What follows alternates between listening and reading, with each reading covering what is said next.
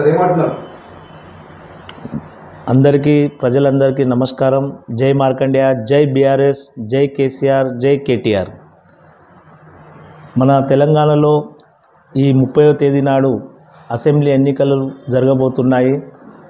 మన సంగారెడ్డిలో సంగారెడ్డి నియోజకవర్గంలో చింతా ప్రభాకర్ అనే క్యాండిడేట్కు మన కేసీఆర్ గారు పూర్తిగా వందకు వంద శాతం నమ్ నమ్మికతో గెలుస్తాడని నమ్మికతో మన పద్మశాలి బాంధవులందరూ ఓట్లేసి గెలిపించుకుంటారని బా నమ్మికతో అతనికి క్యాండిడేట్గా డిక్లేర్ చేసి నిలబెట్టాడు. ఆడొక సభ కూడా తీసుకున్నాడు.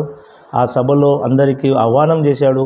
మీరందరూ మన ఇచ్చిన పద్మశాలి ముద్దు బిడ్డ చింత ప్రభాకర్ను అధిక మత్యంతో గెలిపించుకోవాలని ఈ మొత్తం తెలంగాణ రాష్ట్రంలో ఈ వచ్చిన అవకాశం ఈ వచ్చిన అవకాశాన్ని మనం అందరూ మంచిగా వినియోగించుకొని యావత్ తెలంగాణ రాష్ట్రంలో ఎక్కడెక్కడైతే మన పద్మశాలి బాంధవులు కుల బాంధవులు అందరూ ఉన్నారో వారందరూ బీఆర్ఎస్ మీద ఇదివరకు ఏదైతే రెండుసార్లు ఓటేసి గెలిపించారో అదే మాదిరిగా ఈసారి హ్యాట్రిక్గా మన కేసీఆర్ గారికి కారు గుర్తుకు ఓటేసి గెలిపించుకోవాలని హ్యాట్రిక్ సాధించాలని మీ అందరికీ మన తెలంగాణలో ఉన్న ప్రజలందరికీ నేను విన్నపం చేస్తున్నాను. పద్మశాలి సందేశం?